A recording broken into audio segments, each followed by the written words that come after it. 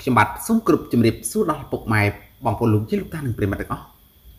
ថ្ងៃនេះផងដែរ CNT TV មានអត្ថបទព័ត៌មានមួយដែលមានចំណងជើងថាថនលក្ខិណាលេចមុខសម្ដែងភាពយន្តជាថ្មី ក្រោយក្តោបបានតំណែងពិធីករណីល្បីឈ្មោះច្រើនឆ្នាំមហាជនអ្នកតាមដាន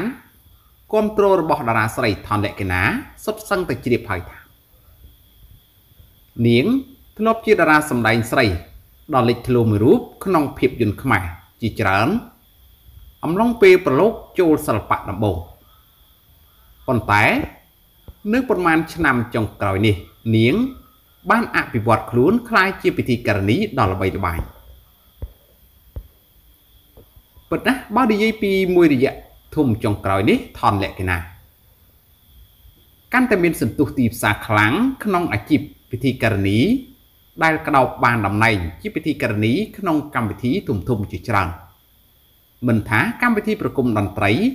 ឬកម្មវិធីប្រឡងចម្រៀងលំដាប់ពិភពលោកនោះទេ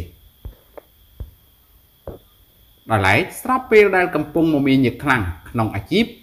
ជាពិធីការនីថ្មីថ្មីនេះថនលក្ខណៈបានធ្វើអ្នកគ្រប់គ្រងចាប់អារម្មណ៍ខ្លាំង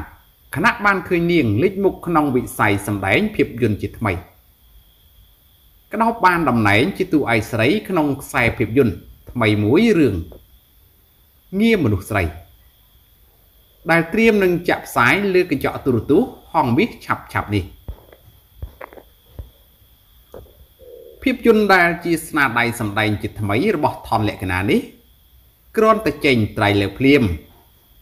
កំពុងតាក់ចំណាប់អារម្មណ៍មហាជនអ្នកគ្រប់គ្រងជាច្រើន ដែលបង្ហាញចិត្ត ចង់ទស្សនាគ្រប់គ្រងនៃខ្សែភាពយន្តមួយនេះផងដែរបាទហើយអត្ថបទព័ត៌មានដែលខ្ញុំបាទបានជម្រាបជូនខាងលើនេះក៏មានតែប៉ុណ្ណឹងសូមអរគុណសូមជម្រាបលា